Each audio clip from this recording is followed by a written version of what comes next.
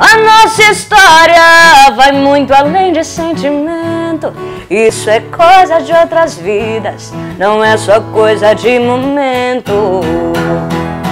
Fala galera, Felipe Ribeiro aqui. Hoje eu tô com a Yuli. E aí, Yuli? Como é que você tá, Certo. Felipe? Tudo bem, graças a Yuli Deus. cantora sertaneja e hoje ela vai contar a história dela pra gente. Como é que foi, Yuli? Como é que foi essa parada de música? Como é que você entrou nessa vibe aí?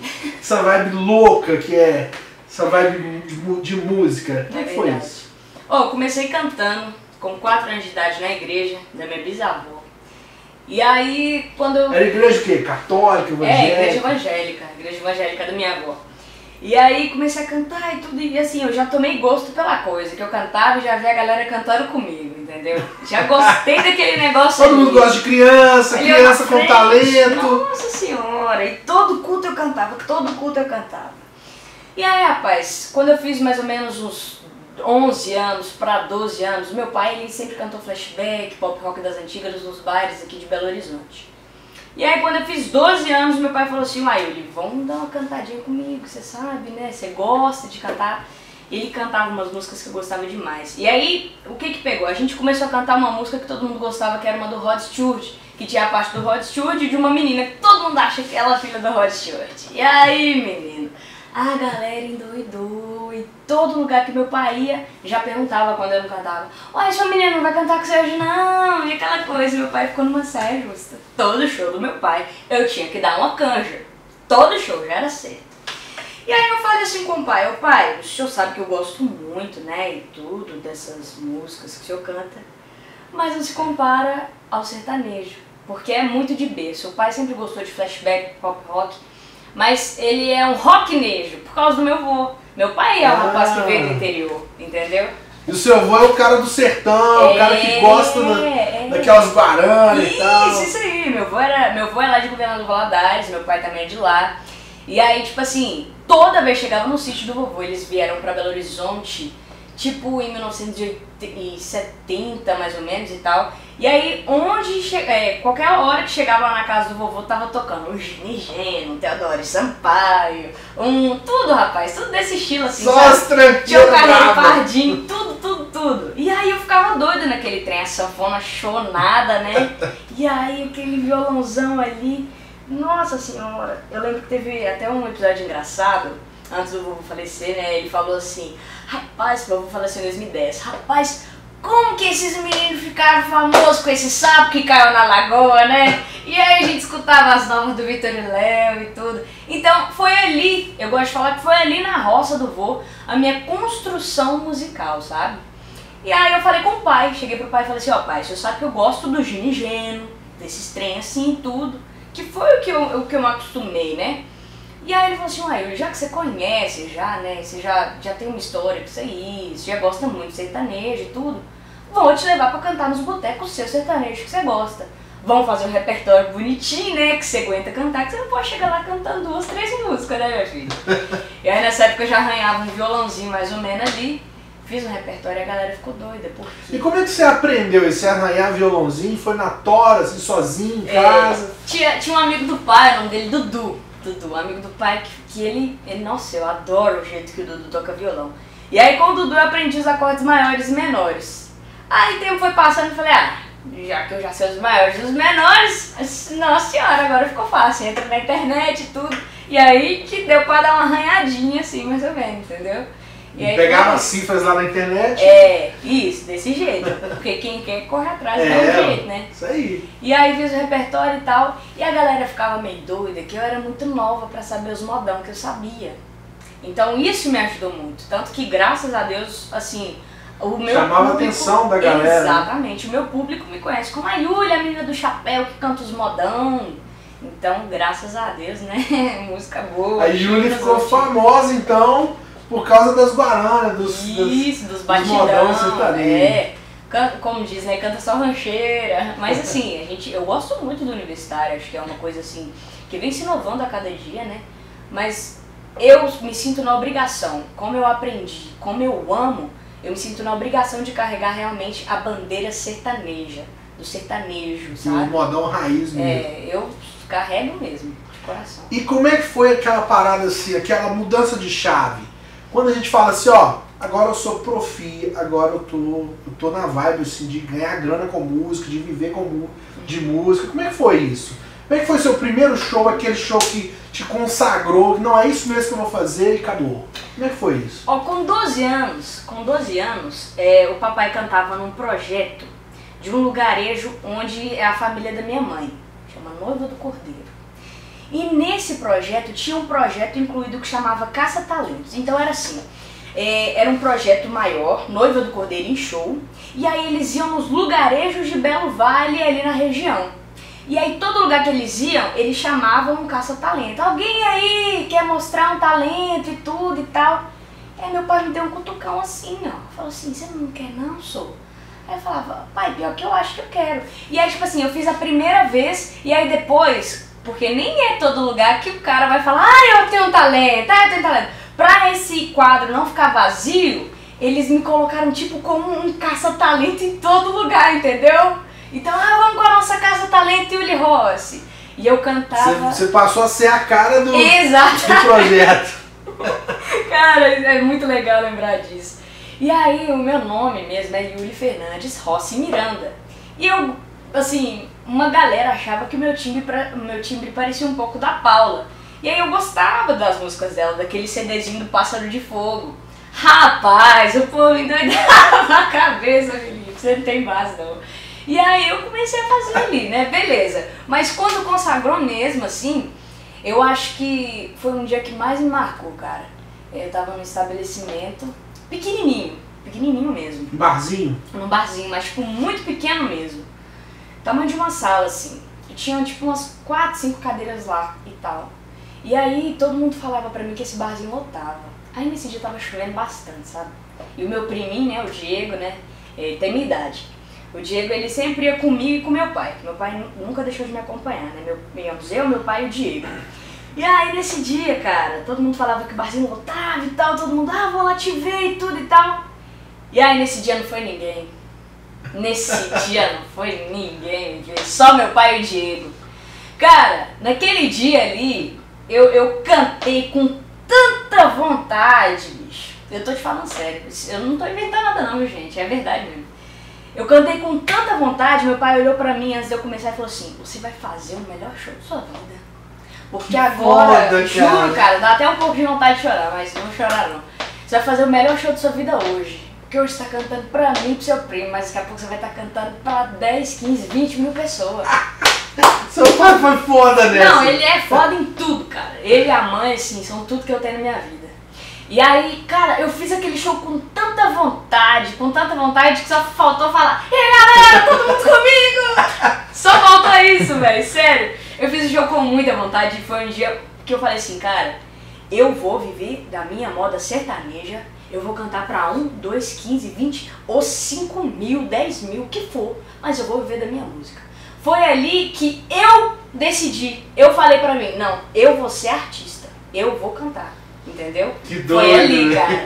E de lá pra cá eu só venho colhendo, graças a Deus, cara. Porque assim, eu plantei muita coisa, sabe? Eu sou muito novinha ainda, em vista de tantas pessoas que eu admiro, eu tenho só 20 anos. Mas assim, eu tenho plantado coisas maravilhosas, graças a Deus. Mas você sabe que é interessante que o artista, quando ele entende essa passagem de, de quando ele entende que não é a quantidade do público que está lá, mas é aquilo que ele consegue passar, aquilo, aquilo que ele consegue tirar de dentro de si, é, é que vale, né? Uhum. Quando o artista entende isso, isso aí é, isso, isso é que mata a pau. É, isso, isso aí, isso mata é foda. Você achou o termo certinho pra isso. Sei que e, e hoje, como é que tá hoje, Yuri? Nós estamos falando, isso, isso aconteceu quando? Tem muito tempo, tem pouco tempo? Isso eu tinha uns 13 para 14, até 15, de 13 a 15 anos que eu tinha, mais ou menos. E, e como é que tá hoje, assim? Como é, que você, como é que você vê a vida hoje dentro do sertanejo? Como é que tá no mercado? Como é que você tá no mercado? Sim. Que, que você está fazendo de produção? O que, que você está produzindo? Como é que tá isso hoje? Então, hoje a gente pode falar, mediante essa pandemia, que muitos pararam mas muitos usufruíram do tempo para aprenderem mais. É o meu caso. Graças a Deus estou estudando muito mais minha viola caipira, estou estudando mais meu violão, estudando realmente o que, que sou eu, o que, que é a minha voz, entendeu? tô descobrindo que eu sou capaz de fazer tanto que eu achava, isso aí é só um tenor cabuloso. E a gente, a gente vai se autodescobrindo, isso é muito legal. E no início do ano eu estive em Portugal. O meu namorado é atleta de jiu-jitsu. E ele foi disputar um campeonato lá na Europa.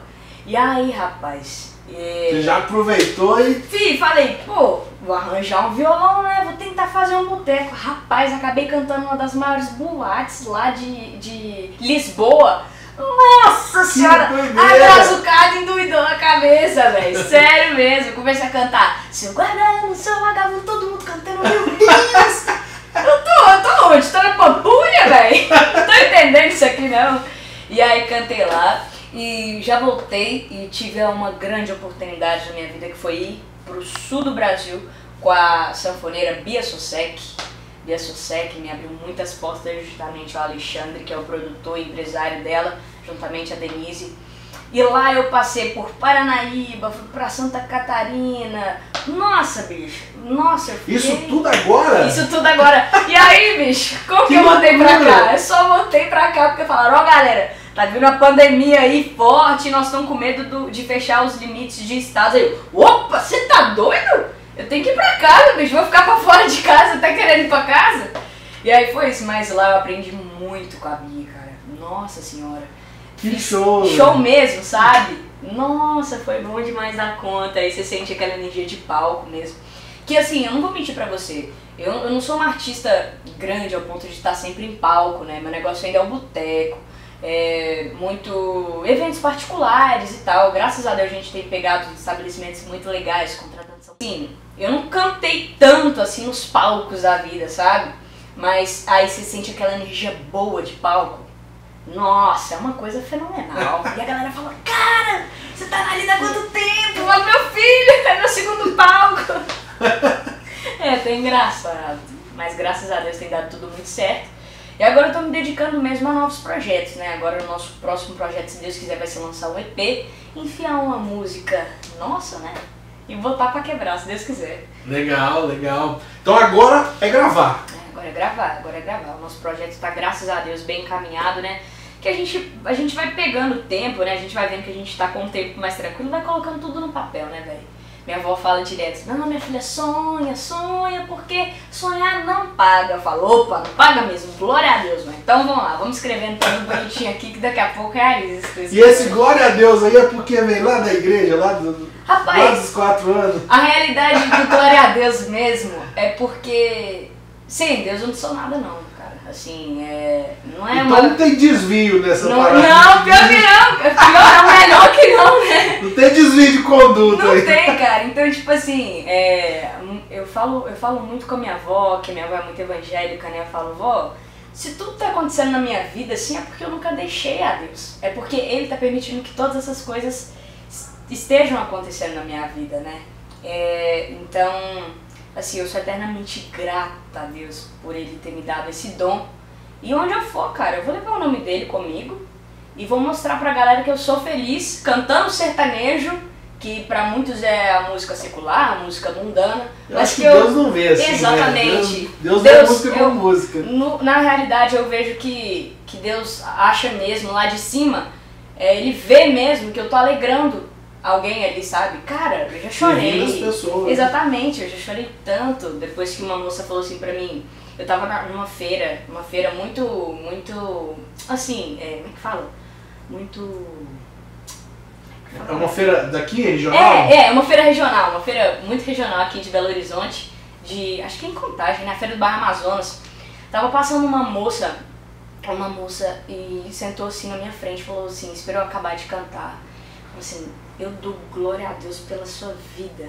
Porque hoje você me fez ter lembranças maravilhosas de onde Que doido! Cara, você é doido que alguém. Você tá servindo as pessoas. Poxa, é muito você tá maluco, velho. Então Deus não me faz nada errado, não. Se eu tô onde eu tô, foi porque Ele me colocou onde eu tô.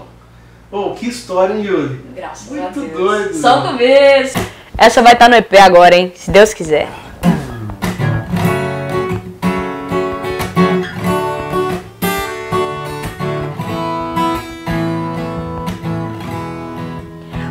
Seu olhar me provoca por inteiro, nem precisa chegar perto já sinto o gosto do seu beijo. A nossa história vai muito além de sentimento. Isso é coisa de outras vidas, não é só coisa de momento. Pega na minha mão, vou te levar pra bem longe daqui. Confia em mim, não vai se arrepender. As minhas cartas estão na mesa, eu não tô aqui pra brincadeira. Levei a sério esse jogo de amar, meu prêmio vai ser te ganhar. Vem, vou te fazer sorrir, benzinho. Vem cá, me dá um cheiro, tira meu sossego, vem cá.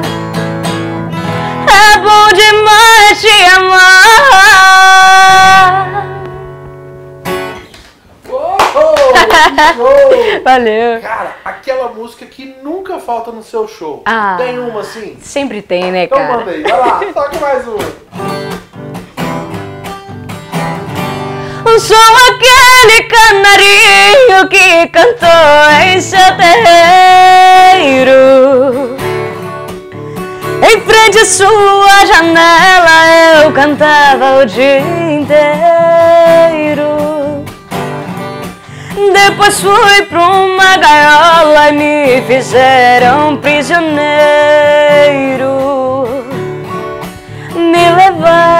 Pra cidade, me trocaram por dinheiro. Essa não falta não. Que show, velho!